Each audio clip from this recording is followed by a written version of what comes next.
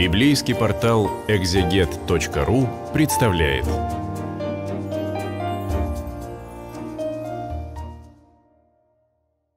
Здравствуйте!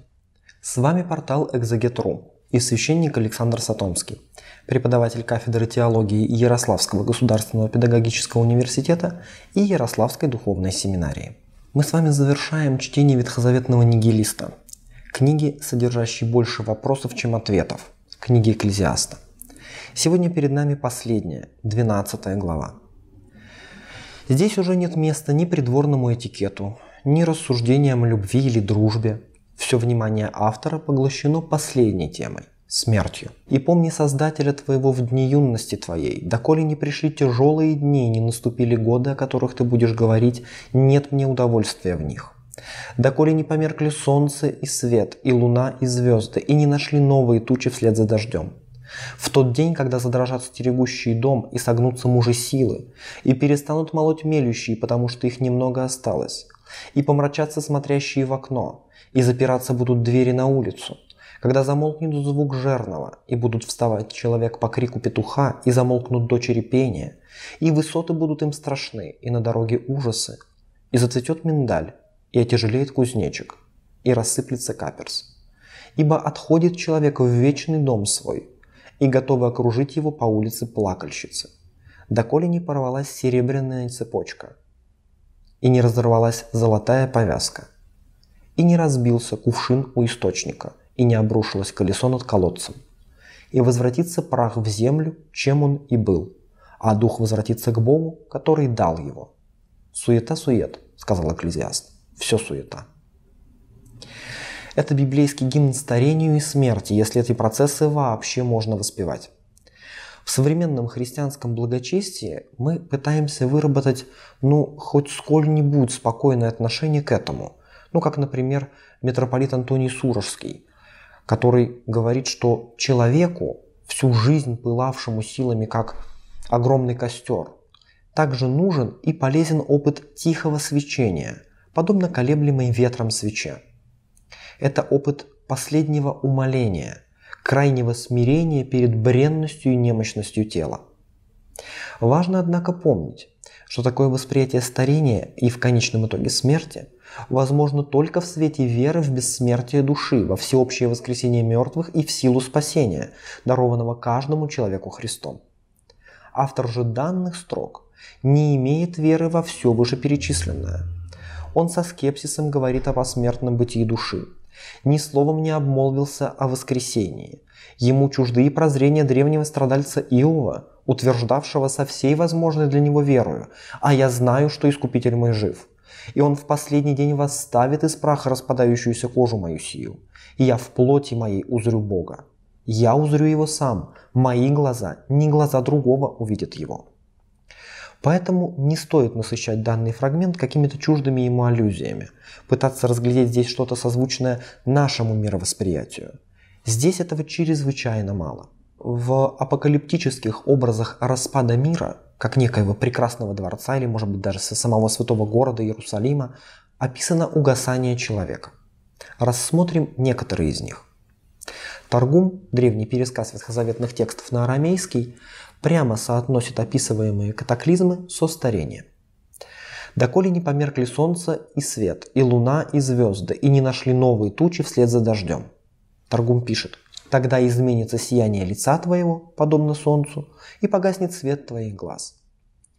В тот день, когда задрожат стерегущие дома, согнутся мужи силы, говорит Экклезиаст.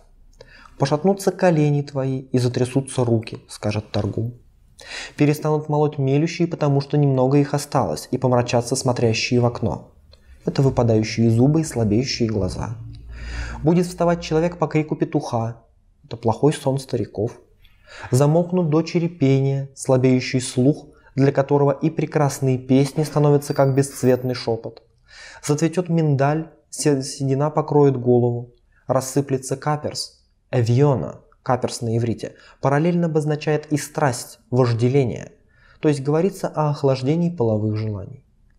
Эта песня старения заканчивается логичными финальными аккордами. «Ибо отходит человек в вечный дом свой, и готовы окружить его по улице плакальщицы, доколе не порвалась серебряная цепочка и не разорвалась золотая повязка, и не разбился кувшин у колодца, и не обрушилось колесо. То есть есть нечто, что как бы незримо, неощутимо связывает в целое человеческое бытие, не дает ему распасться в этому странному союзу материи и духа, реализованному Богом в человеке. И повязка и цепочка описаны как изделия из драгоценных металлов. То есть драгоценна жизнь. Сладок свет и приятно для глаз видеть солнце, скажет экклезиаст главою выше. Но и эта повязка рвется. Сыплются две звенья этой драгоценной цепи, и на человека наваливается мрак, наступает смерть. И в этом ужасающем гимне звучит один из утвердительных ответов экклезиаста. Мы, возможно, уже и забыли, что он задавал риторически созерцательный вопрос. Он спрашивал, дух сынов человеческих восходит ли вверх? И дух животных сходит ли вниз, в землю? Когда автор переходит от теоретических рассуждений к констатации фактов, ему уже не удается сохранить прежний скепсис. Он уже утверждает, возвратится прах в землю, чем он был, а дух возвратится к Богу, который его дал. В Боге место пребывания человеческого духа. Это Он дал дыхание жизни. Создал Господь Бог человека из праха земного, вдунул в лицо его дыхание жизни, и стал человек душою живою, говорит книга Бытия. И к нему же, к Богу, это дыхание возвратится. Не смог человек удержать этот дар. Презрел предложенную Богом прохладу дня Эдемского сада и не спал в тернии истории. Поэтому не Бог отнимает дух, но как уже неудерживаемый в тленном теле, дух сам стремится к подобному.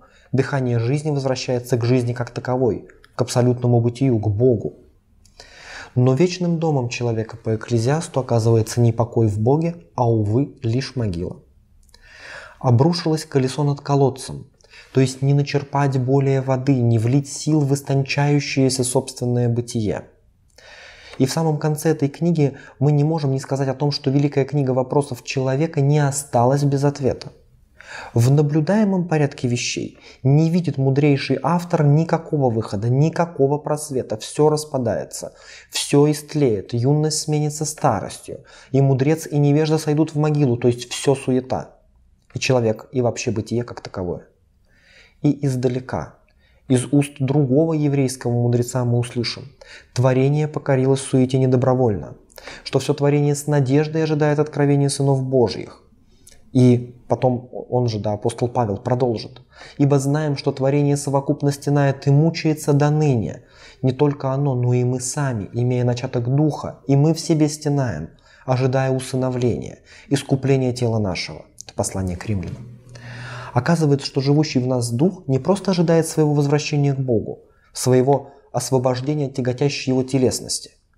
Мы ждем именно восстановления полноты бытия – всего человека, да, и тварного мира, в том числе в Боге.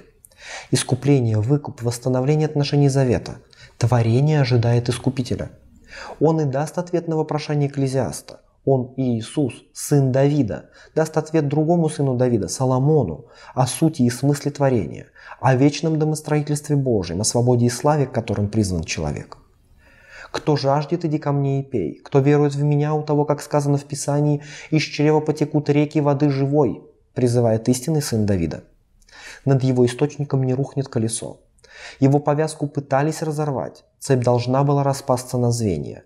Но истину о нем увидел уже Исаия, говорящий, «Он истязуем был, но страдал добровольно, и не открывал уст своих, как овца он был введен на заклание, и как агнец перед стригущим его безгласен так он не отверзал уст своих. Он отторгнут от земли живых. За преступление народа моего претерпел казнь. Посему, говорит Бог, я дам ему честь между великими, и сильными будет делить добычу за то, что предал душу свою на смерть. И к злодеям причтен был, тогда как он понес на себе грех многих, и за преступников сделался ходатаем. Сам Христос скажет об этом. «Потому любит меня Отец, что я отдаю жизнь мою, чтобы опять принять ее, Никто не отнимет ее у меня, я сам отдаю ее. Имею власть отдать ее и имею власть опять принять ее. Сию заповедь получил я от отца моего. Экклезиаст боится смерти, и Христос, сын Давидов, сойдет в смерть и разрушит ее власть. Евангелие – вот ответ на вопросы экклезиаста, перед которыми безмолвна вся ветхозаветная литература. В завершении хочу заметить, что эта ситуация бессилия ветхозаветного учения над вопрошаниями Соломона прекрасно отражена в двух эпилогах, не относящихся непосредственно к основному тексту. Возгласом «все суета» завершается, в общем-то, книга. Однако еще несколько стихов остается перед нами. Кроме того, что Экклезиаст был мудр, он учил еще народ знанию. Он все испытывал, исследовал, составил много притчей. Старался Экклезиаст приискивать изящные изречения и слова истины, написанные им верно. 9-10 стихи. Это первый эпилог. В нем мы слышим апологию, защиту учителя учеником от критики. По-видимому, этот человек принадлежал к школе последователей Кахелета. Ввиду высокой скандальности озвученных автором резких тезисов, ученику приходится припомнить то добро, что делал учитель, просвещая народ. Кроме того, обязательная и нормативная ссылка на предыдущую традицию, чтобы никто не подумал, что автор писал от ветра своей головы. Так говорится, он все испытывал, исследовал, приискивал изящные речения. Хотя это, конечно, слабое оправдание, и книга сильна именно яркой авторской позицией, не прячущейся за школьные авторитеты, а резко с ними полемизирующей. В итоге ученики настаивают, слова истины, записанные их учителем, верно. А вот второй текст. Слова мудрых, как иглы, как вбитые гвозди, и составители их от единого пастыря. А что сверх всего этого, сын мой, того берегись. Составлять много книг конца не будет и много читать утомительно для тела. Выслушаем сущность всего. Бойся Бога и заповеди Его соблюдай, потому что в этом все для человека. Ибо всякое дело Бог приведет на суд, и все тайное, хорошо оно или худо. Это великолепный второй эпилог. Он прекрасен своей непосредственностью. Древний книжник-переписчик был так скандализирован прочитанным, что не смог не оставить пометку для всех, кто после него обратится к этому тексту. Он, конечно, склоняет голову перед авторитетом, но из-под лобья бубнит свое, и краткий смысл этого своего как бы не берите в голову. Отеческая охранительная позиция звучит здесь в каждом слове и формализуется, в общем-то, в выражении «сын мой», ни разу не встретившимся нам до этого в книге. Никогда автор Экклезиаста так свысока не обращается к своему читателю-собеседнику – он ведет с ним равный диалог, предлагает ему итоги размышлений всей своей жизни, но предлагает это на суд равного, поэтому оставляет здесь много открытых вопросов. Здесь же елейная нравоучительность, что сейчас-то в этих двух строчках нам, глупцам, объяснят весь реальный смысл текста, оставившего столько недоумений. Мы поймем, что убийца дворецкий и успокоимся. Более того, Автор эпилога с некоторой пренебрежительностью относится и к самому такого типа духовному поиску. Как бы к чему все это, если все сказано Моисеем? Поэтому что сверх этого, сын мой, того берегись. Составлять много книг конца не будет. Много читать утомительно для тела. То есть не обременяй себя размышлениями. Странный итог для мудреца, не правда ли? Какой же тезис с точки зрения переписчика должен внести ясность во все предыдущие метания? Тезис прост. Бойся Бога, заповеди Его соблюдай. В этом все для человека. О чудо и откровение. Конечно, прошу прощения за скепсис, но эта мысль столь тривиальна и однозначно для всего Ветхого Завета, является столь общим и понятным местом, что в данном случае звучит как заезженное в нашей культуре слово духовность, оставляющая теперь лишь снисходительно-саркастическую усмешку. Столь выхолощено это глубокое слово множеством случаев совершенно неуместного употребления. Но не могу не заметить, что метание и размышления автора в итоге оказались столь чужды, например, иудейской традиции, что только вот эта ремарка переписчика позволила в итоге оставить книгу Экклезиаста в каноне. Сказал Раф и Игуда – Мудрецы думали упразднить книгу Кахелет, потому что она полна внутренних противоречий. Почему же ее не спрятали? Потому что начало ее слова Торы и конец ее слова Торы. Как сказано, Бога бойся и заповеди его соблюдай, потому что в этом весь человек. Подобного же рода мысли встречаем мы и у христианских толкователей, считавших такой финал единственно осмысленным завершением всех Соломоновых метаний. Можно ли сказать что-нибудь короче, справедливей, спасительней? Задается риторическим вопросом блаженный Августин. Святитель Григорий Двоеслов продолжает. Книга потому названа «Проповедник», что в ней Соломон как бы себе усвояет мысли волнующейся толпы, дабы после рассмотрения их сказать то, на что бы согласилась, вникнув, и неопытная толпа. Он останавливает волнение всех и заставляет их соглашаться на одну мысль. Выслушай конец всего, Бога бойся и заповеди его храни. Любовь к простой дидактике оказывается не способна к воспринятию столь неоднозначных тезисов. Завершая наш цикл, хочу еще раз вернуться к ранее озвученному э, тезису. Экклезиаст – целостное произведение, полное вопросов, метущегося духа и совершенно неподходящее для чтения в какой-нибудь предрождественский вечер у камина детям. Это, в общем-то, не тот текст, который соответствует образному ряду, возникающему у обывателя при слове «Библия». Но это важнейший текст. Это крик недоумения, обращенный к небесам – крик человека, не могущего найти верного пути.